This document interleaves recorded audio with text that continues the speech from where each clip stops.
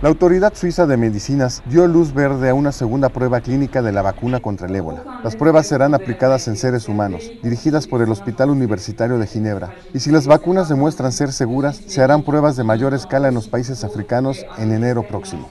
Hay dos objetivos principales de la prueba. El primero es determinar la seguridad de la vacuna, saber los posibles efectos secundarios. El segundo, establecer cómo responde nuestro sistema inmunológico a la vacuna. Unos 250 voluntarios han inscrito ya y algunos serán seleccionados al azar para recibir una de las dos dosis de la vacuna la próxima semana. Después de eso, les darán seguimiento durante seis meses y la dosis que dé la mejor respuesta será seleccionada para ser probada en el campo.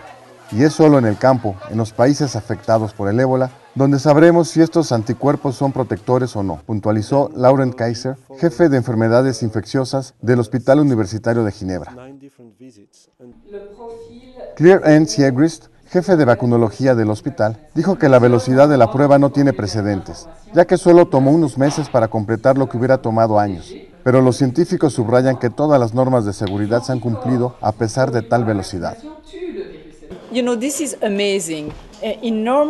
Usted sabe que esto es increíble. En situaciones normales lo habríamos trabajado durante un año o dos para preparar un juicio y reunir todas las documentaciones. No teníamos un año o dos, teníamos dos meses, que trajo consigo una movilización nunca antes vista. El tiempo es la esencia de la lucha contra el brote del ébola en África Occidental, por lo que la Organización Mundial de la Salud da la bienvenida a esta medida. Una vacuna eficaz ayudaría mucho a la inmovilización de la epidemia. Con información de la oficina en Ginebra, Suiza, Noticias Xinhua.